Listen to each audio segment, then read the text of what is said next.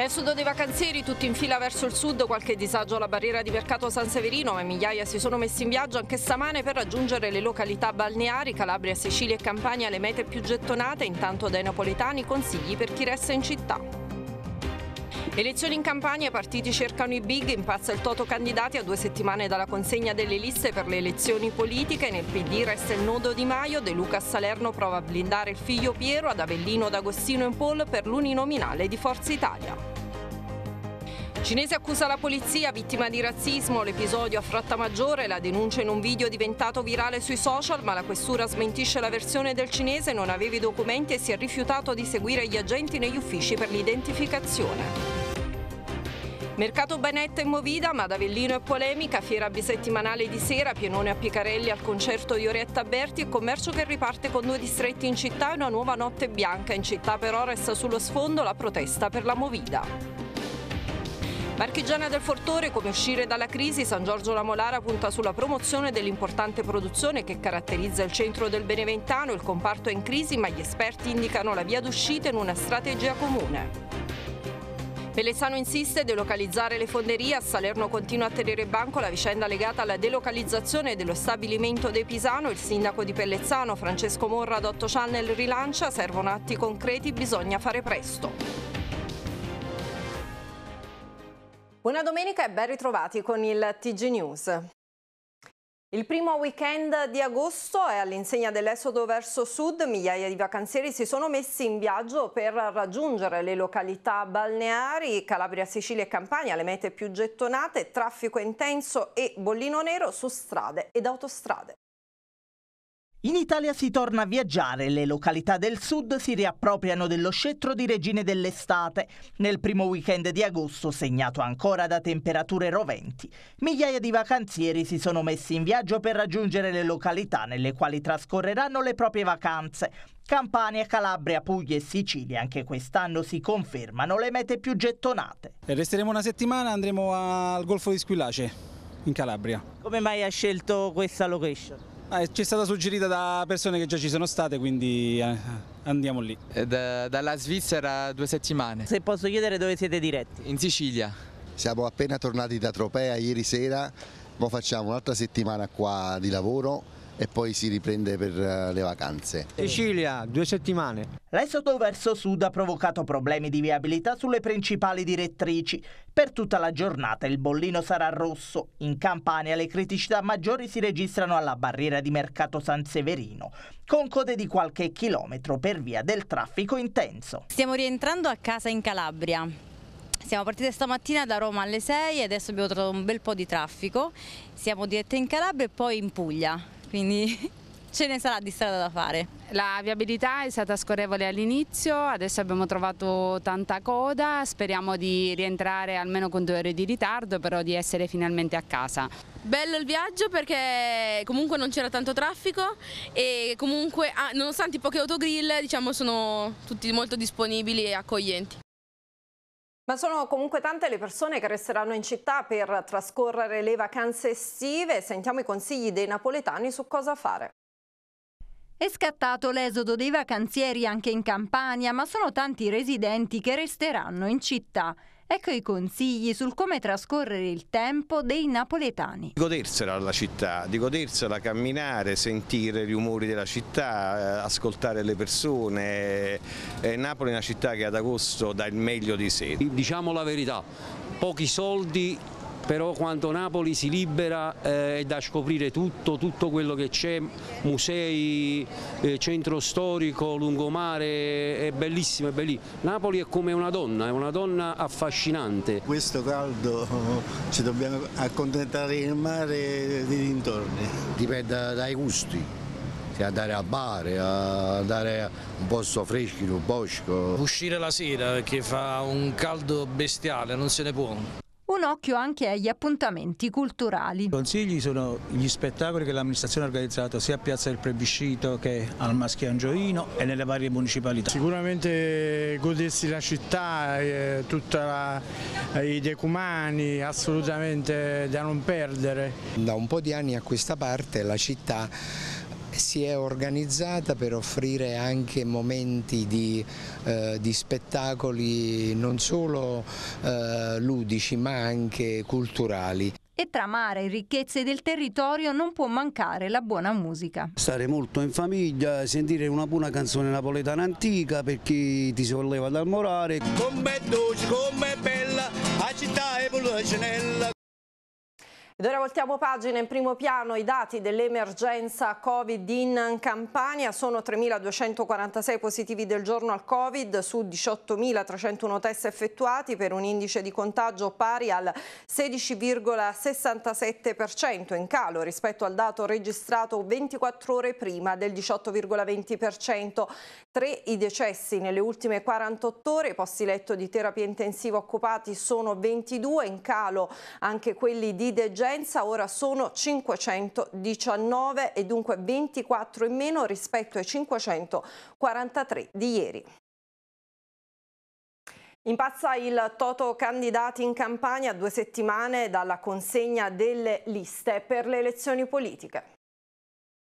Due settimane, tanto manca alla presentazione di liste e candidati alle prossime elezioni politiche, dunque con tempi strettissimi. Strettissimi sono pure i margini per i ragionamenti e per le scelte.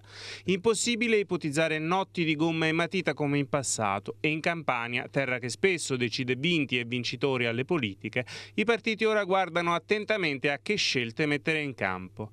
Battaglia nel centrodestra per quel che attiene il numero di seggi che spettano a Lega, Fratelli d'Italia e Forza Italia. Italia.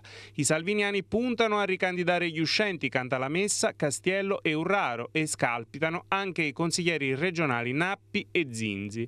Forza Italia potrebbe puntare forte su D'Agostino in Irpinia, mentre sogna di coronare il lavoro svolto in questi anni il giovane sindaco di Puglianello Francesco Rubano nel Sannio, in poll per una candidatura in buone posizioni. Scalpita a Matera per Fratelli d'Italia e tra i meloniani ci dovrebbero essere anche Rastrelli a Napoli e ovviamente Cirielli e Iannone a Salerno. Nel centrosinistra scalpitano i big, ci sarà sicuramente Enzo Amendola e scenderà in campo personalmente anche in Campania il leader di Italia Viva Matteo Renzi. Ci sarà anche Mara Carfagna in campo, mentre da valutare ci sono conformazioni e caratteristiche della pattuglia de Luchiana, da Piero, figlio del governatore, che vorrebbe una candidatura blindata, al vice Bonavitacola, al consigliere regionale Franco Picarone. Per Sannio Irpigna dovrebbe esserci l'uscente Dem De Caro, da vedere se al proporzionale o all'uninominale. Per i 5 Stelle invece si punta a confermare almeno una parte degli uscenti dopo il boom del 2018.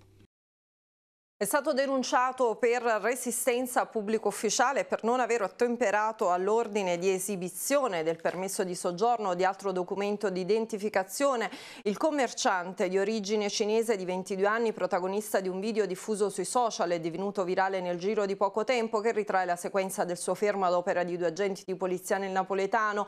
A generare il dibattito social è la versione resa dal giovane che accusa di essere stato vittima di razzismo da parte dei tutori dell'ordine, ma la polizia polizia smentisce.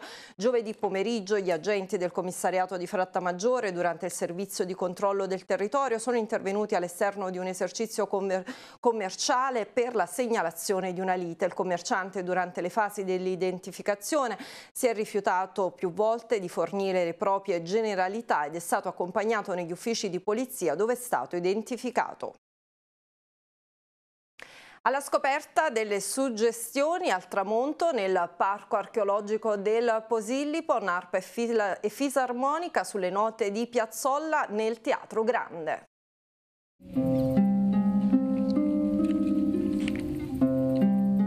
Incanto e magia con Pausilipon Suggestioni all'imbrunire, la rassegna di musica e teatro nel Parco archeologico ambientale del Pausilipon alla luce del tramonto, in uno dei luoghi più belli e suggestivi di Napoli. L'evento, ideato dal Centro Studi Interdisciplinari Gaiola Onlus, d'intesa con la sovrintendenza, con il patrocinio del comune e del Parco Sommerso di Gaiola, si ripropone come raffinato incontro tra archeologia, natura, musica, teatro, nella straordinaria cornice dell'antica Villa d'Ozium del primo secolo a.C. di Publio Vedio Poglione. La grande sfida della, della rassegna, per come è stata concepita sin dai suoi albori, è proprio il fatto di avere quanto meno impatto possibile sull'ambiente, sulla, sulle strutture archeologiche, quindi è tutto assolutamente in acustico. Ed è un luogo intimamente legato poi al Parco Sommerso di Gaiola, perché in effetti i resti archeologici che noi troviamo sommersi nel Parco Sommerso di Gaiola sono i resti afferenti a questa stessa villa. Intanto tuffi speciali nel blu dell'area marina protetta di Gaiola, tra archeologia e turni per consentire a tutti di fruire di una perla di cultura, bellezza, fascino e natura nel cuore di Napoli. Questo parco, questo luogo nasce con due anime, una è quella biologica, quindi la ricchezza biologica di questi fondali e una è quella archeologica. Non lascerei questo posto per nessuna ragione al mondo, cioè il mio cuore, una parte del mio cuore è qui. Non esistono altri posti dove uno uh, stia a contatto con la natura, um, tranquillo, di trovare sempre il posto su prenotazione. È meraviglioso, è meraviglioso. Io ormai vengo solo qui. Sono una fan sfegatata della Gaiola. Ancora cronaca, anziana trovata morta nella sua abitazione dove sarebbe rimasta per circa due mesi prima che qualcuno si accorgesse di lei. Accaduto a San Nicola Manfredi nel Sagno, la vittima è un 86enne che viveva da sola in una frazione alle porte del paese. Nessuno aveva avuto più notizie di lei, ecco perché secondo una prima ricostruzione sindaco, carabinieri e vigili hanno raggiunto il suo domicilio quando sono entrati all'interno dell'abitazione la triste scoperta. Su disposizione del sostituto procuratore il medico legale ha proceduto ad un sopralluogo alla visita esterna della donna che sarebbe stata colpita da un malore che non le avrebbe dato scampo. Mercato di sera, pienone da Orietta Berti e commercio che riparte con due distretti in città e una nuova notte bianca. Ad Avellino però resta sullo sfondo la protesta per la Movida. Mercato di sera, il successo della Notte Bianca e del concerto di Orietta Berti a Picarelli Avellino riparte in questa estate 2022. A Campo Genova si è replicata l'esperienza dello scorso anno con un buon riscontro, fanno sapere gli ambulanti. Alla gente piace guardare gli stand e spendere qualcosina al fresco. Speriamo di ritagliarci un'altra serata come questa in questo scorcio d'estate che rimane. Mentre si animava il mercato serale, l'intramontabile Orietta Berti conquistava Picarelli con il suo concerto, soddisfatto l'assessore agli eventi Stefano Luongo. E intanto il vice sindaco Laura Nargi annuncia una nuova notte bianca in versione invernale, ma anche la presentazione del piano del commercio con due distretti al corso e al centro storico. L'amministrazione comunale ha incassato il successo della serata di shopping con gli artisti di strada e i DJ, che venerdì ha coinvolto migliaia di persone al corso, ma intanto sullo sfondo resta la protesta dei residenti del centro storico per la movida incontrollata. Dal mese di giugno ci siamo visti calare eh, dall'alto una serie di iniziative che non avevano niente a che vedere con quelle che sono le esigenze di un reale centro storico. Adesso il centro storico va rivalutato, eh, va tutelato. La stessa sovrintendenza per quanto riguarda i beni architettonici e compagnia dovrebbe farsi sentire. Nel momento in cui poi si fanno delle attività, le attività che devono sorgere sono tali o dovrebbero essere tali che il centro storico diventi appetibile per chi ci possa vivere. Non è che si organizzano delle eh, serate con il caos predominante e si fa sì che praticamente la gente corra. La festa della marchigiana del Fortore, la quindicesima mostra bovina di razza marchigiana interregionale San Giorgio La Molara in provincia di Benevento, punta sulla promozione dell'importante produzione che caratterizza il centro del Beneventano.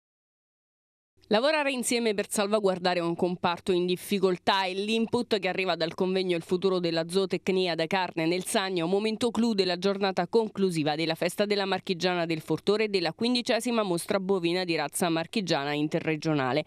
Non solo degustazioni e momenti ricreativi, l'evento dell'amministrazione di San Giorgio La Molara punta anche su convegni e confronti per la promozione di un'eccellenza. Riprendiamo la festa della marchigiana, per noi è un fatto importante perché rappresenta il fiore all'occhiello del nostro eh, territorio del nostro comune. Si riparte e con degli obiettivi precisi. Come amministratori, io sono anche allevatore della razza bovina marchigiana, ce la stiamo mettendo tutta per promuovere i nostri prodotti. La nostra intenzione è far rete tra gli allevatori e quindi eh, cercare di fare dei contratti di filiera per la qualità dei prodotti. Eccellenza che ha ottenuto il riconoscimento IGP assegnato agli allevatori del Fortore che conta circa 2500 capi bovini. È un momento difficile, un momento di crisi anche per il nostro settore. Prodotti di qualità vengono richiesti e cercati, il problema sono i costi di produzione che ormai eh, hanno, stanno avendo degli aumenti impensabili Essenziale l'aiuto della politica per evitare il pericolo del cibo sintetico. La necessità di puntare molto sulla qualità, come in questo territorio è stato fatto,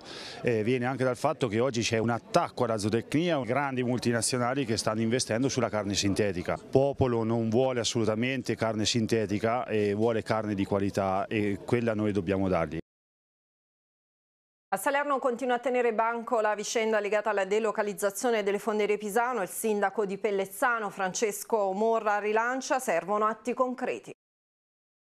Mettere in campo azioni concrete per delocalizzare le fonderie Pisano di Salerno, a chiederlo il sindaco di Pellezzano Francesco Morra, che da tempo in prima linea nella vicenda dello stabilimento di Fratte, confinante proprio con il comune della Valle dell'Irno. Per la fascia tricolore è necessario voltare pagina in maniera definitiva per dare una risposta reale alle istanze dei cittadini. Purtroppo questa triste pagina delle fonderie Pisano sembra che non c'è questa volontà da parte della proprietà di voler delocalizzare, di accelerare anche i tempi di presentazione del progetto in Regione Campania, soprattutto per quanto riguarda l'impatto ambientale, però da un'altra parte ci fa ben sperare l'acquisto dei terreni a Buccino e tra l'altro è ancora pendente dal Consiglio di Stato il ricorso da parte del Comune eh, di Buccino. Nelle scorse settimane la Regione Campania ha rigettato l'istanza che era stata presentata dall'azienda per delocalizzare l'impianto a Buccino, perché ritenuta inadeguata, una decisione che ha alimentato nuove polemiche e che ha riacceso lo scontro. Spero che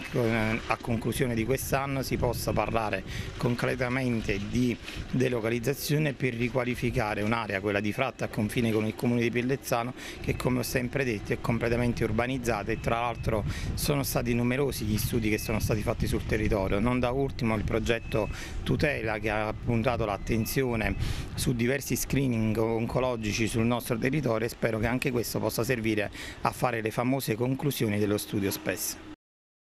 Mobilità elettrica e turismo sostenibile nelle aree interne, annusco l'incontro con l'assessore regionale al turismo Felice Casucci. Il messaggio di Casciaro contiene ancora eh, grande attualità, eh, già che lui riflette molto sugli equilibri uomo-natura, sulla sostenibilità nell'amare e vivere il territorio. Da un lato la riscoperta di Giuseppe Casciaro, tra i più importanti pittori dell'Ottocento italiano, paesaggista e decano della scuola pittorica napoletana, raccontato in un libro attraverso un'attenta ricerca storica e artistica da Vito Carbonara, e dall'altro la cultura che fa da traino al rilancio del turismo sostenibile nelle aree interne, una sfida sulla quale intende scommettere convintamente l'assessore regionale Felice Casucci, Ieri abbiamo fatto una passeggiata con, eh, prendendo una macchina, abbiamo testato una macchina 100% elettrica da Napoli a Montefredane, abbiamo, siamo andati al, eh, nella zona del Pozzo eh, che è molto bella eh, e devo dire che è stata un'esperienza bellissima, una macchina che non produce alcun tipo di, di rumore, eh, che si ricarica nelle discese, eh, a emissioni zero, vai nei luoghi non violenti con eh, il, il, la, mobilità, la mobilità che produce un impatto negativo, ma una mobilità veramente sostenibile e questo noi stiamo creando dei pacchetti turistici legati ai prodotti agricoli tradizionali, eh, l'Irpina è ricchissima eh, di tipo di accoglienza anche legata alla ricettività eh, che utilizzano la, la mobilità elettrica. A Benevento volontari in campo per la prima giornata del progetto Puliamo le contrade. Dalla plastica gli ingombranti volontari hanno trovato rifiuti di ogni genere che sono stati raccolti e smaltiti con il supporto dell'Asia. È il risultato della prima giornata dedicata a Benevento al progetto Puliamo le nostre contrade, attività di sensibilizzazione che ha preso il via da Contrada San Chirico e che coinvolge direttamente i cittadini nella cura e nella manutenzione del decoro urbano. Il lavoro è stato enorme, hanno aderito più o meno 25-30 persone fino a questo momento, abbiamo trovato eh, di tutto di più, tra la la plastica, il vetro, gli ingombranti, è stato buttato di tutto, quindi eh, il messaggio è questo, cerchiamo di tenerli puliti questi posti ma di rispettare quelle che sono le regole della civiltà, eh, poi quello che eh, l'amministrazione deve fare eh, sicuramente eh, lo sta già eh, facendo, c'è la collaborazione dell'Asia che è importante, l'Asia sta facendo un ottimo lavoro, però questa giornata era soprattutto soprattutto per eh, dare questo messaggio, cioè siamo tutti responsabili del nostro territorio significa questo, che eh, ci vuole rispetto. Iniziativa pertanto destinata a proseguire coinvolgendo anche le altre contrade della città. Sicuramente faremo altre iniziative, eh, ho avuto anche già delle richieste anche da qualche altra contrada, ovviamente le contrade sono, sono immense, per cui il lavoro da fare sarebbe, sarebbe tantissimo, però iniziare, io dico almeno si inizia. Aziende e vigneti devastati dalla grandine Ciavellino al lavoro per una prima conta dei danni in Irpinia. È bastato un pomeriggio per distruggere un anno di lavoro di oltre 50 aziende irpine. Una violenta grandinata si è abbattuta su vigneti, uliveti e frutteti in tutto l'areale. Segnalazioni di aziende agricole danneggiate sono tante e si stimano danni oltre l'80%. Siamo preoccupati, dice il presidente di CIA Avellino Stefano Di Marzo. L'areale colpito è molto vasto, però eh, diciamo, eh, l'areale che ha subito più danni ha frutteti, uliveti, vigneti, colture ortive, va soprattutto nei comuni di Castelfranci, Nusco, Torella dei Lombardi, dove i danni sembrerebbero diciamo, molto molto ingenti. Eh, noi ci siamo già attivati con la segnalazione alla regione Campania per eh, diciamo, chiedere una verifica, del, eh, una verifica, dei danni e comunque eh, diciamo, per ottenere nel caso mh, una richiesta di stato di calamità proprio dovuto, dovuto alla grandine. I danni sono ingenti, ma soprattutto arrivano in un momento molto difficile. E poi sulla prevenzione afferma. L'agricoltura può sicuramente, l'agricoltore può sicuramente diciamo, intervenire con la stipula di polizze assicurative verso disastri. TG News termina qui, ora ci sono le previsioni meteo, a voi che a tutti grazie per averci seguito.